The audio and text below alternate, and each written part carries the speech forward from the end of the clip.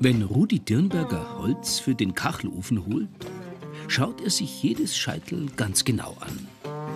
Hat das jedes Stück ist eine Unikat. Ich vergleiche das immer mit einem Edelstein. Wenn er geschliffen ist, dann kommt das erst zum Vorschein.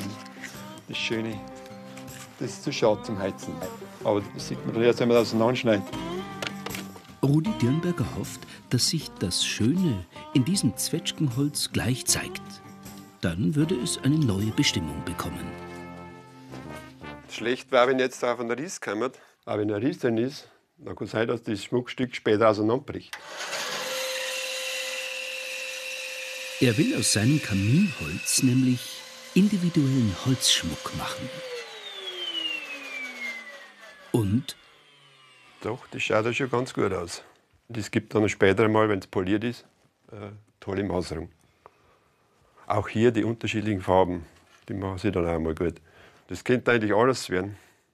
Ein Herz, das was dann so Quermaserungen hat, oder auch ein Ring, wo ich dann später den Edelstein reinmache. Das, das entscheidet dann spontan eigentlich. Was vor sechs Jahren mit einem Geschenk für seine Frau begann, füllt heute ein ganzes Zimmer. Schmuck aus dem Holz verschiedener heimischer Obstbäume. Mit Agnes Niebler ist er seit Jahrzehnten befreundet. Fast ein Dutzend verschiedene Schmuckstücke hat sie schon von ihm. Einfach echt und, und nicht verkitscht. Dann sind es meist Unikate und nicht äh, Schmuck auch von der Stange. Den Schmuck habe ich bei seiner Frau tragen sehen, bei der Karin, hat mir sehr imponiert. Für diesen Advent hat Agnes Niebler jetzt einen ganz besonderen Wunsch. Ein Herz möchte ich, aber die sehe ich nicht so genau. Und so ein geteiltes mit einem dunklen und einem hellen Holz. In der Größe, wie ja. das da ist. Und mit Lederband. Mhm. Und ein Metall. Ja, ich glaube, das bringen wir hin. Ja, freut es mich. Ein geteiltes Herz, sowas hat Rudi Dirnberger noch nie gemacht. Jetzt zwei verschiedene Hölzer sind, ist, äh, ist eine Herausforderung für mich. Ich hätte jetzt Kirsch gedacht und Zwetschge, weil das trotzdem farblich zusammenpasst, aber nicht, der Kontrast nicht zu stark ist. Wenn ich zum Beispiel Birke nehme, das ist ganz hell, das, das wäre mir schon wieder zu weiß.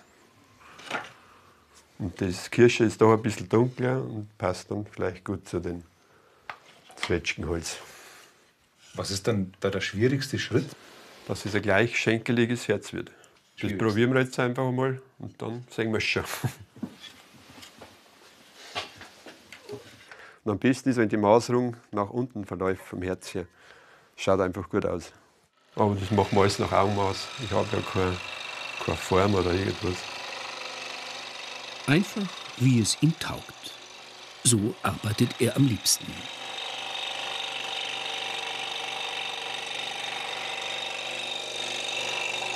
Schaut doch gut aus. Das ist schon symmetrisch. Das ist im Holz schon drin. Und den Rest, was zu voll ist, schleife ich jetzt weg.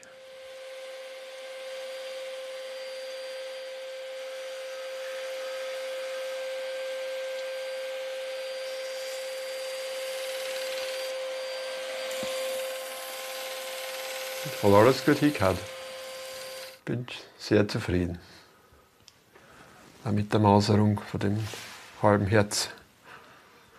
Und die Linien sollten nach unten gehen? Ja, das ist bei beiden Hölzern jetzt so.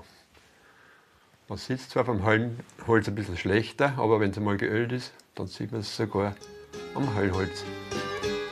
Vor dem Finish muss jetzt der Leim erst trocknen. In der Zwischenzeit schneidet sich Rudi Dirnberger ein Brettel aus dem schön gemaserten Zwetschgen-Kacheloofenholz. Ich glaube, ich mache einen Anhänger draus, in der Runden. Ja, recht schöne Scheibe. Das ist Entspannung für mich. Wenn ich da arbeite, kann ich abschalten, wenn ich mit dem Holz arbeite. Mit seiner Frau Karin war er viel auf Kunst- und Handwerkermärkten. Weil ihn die Qualität der Sachen dort nicht überzeugte, fing der Elektriker selbst mit Kunsthandwerk an.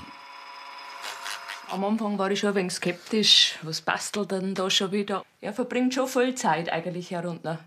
Wenn ich im Garten werkel, dann höre ich herunter. Ja, im Garten na ja, ein bisschen. Naja, ja. dann höre ich die Maschine und schon wieder, dann weiß ich schon wieder, was los ist. Mittlerweile bin ich eigentlich schon stolz auf ihn. Doch, weil auch der Schmuck gut ankommt. Am Wochenende ist wieder Weihnachtsmarkt in Katzelsried. Nur dort verkauft er heuer seine Sachen. Da ist jetzt passen. Es soll auch kein Zwang werden, es soll auch Spaß machen. Und das macht es auf jeden Fall. Und wenn es ein bisschen Geld nebenbei ist, hat man auch nichts dagegen. Der Leim beim geteilten Herz ist trocken. Jetzt müssen die Löcher für das Lederband gebohrt werden. Das macht mir Sorgen, dass ich nicht gerade durchbohre. Dass es dann schief hängt, das Herz. Dann wäre die ganze Arbeit umsonst gewesen.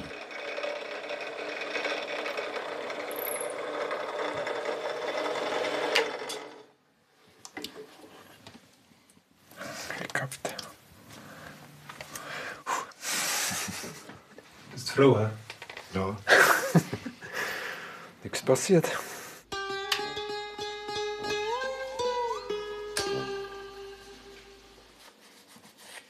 Jetzt geht's ans Finish.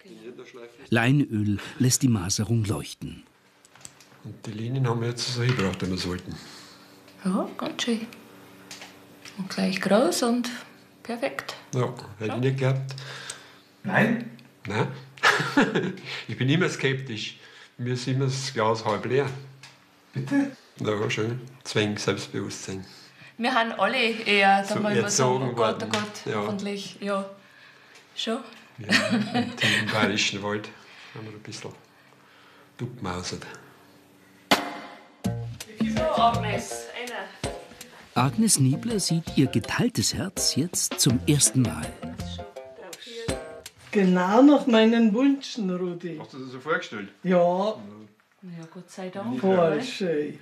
Die zwei Holzarten sind schön. Kirsche und Zwetschge. So was habe ich noch gar nicht gehabt. Das gefällt mir gut. Das war mir ein gutes Gefühl. Das ist ein Erfolgserlebnis, wenn das die Leute gefällt. Da wird man irgendwie süchtig, dass man immer mehr macht.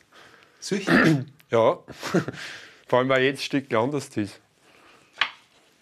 Das vierte am Christkindlmarkt aus am Samstag. Genau. Keinerlei Grund also zum Duckmausert sein.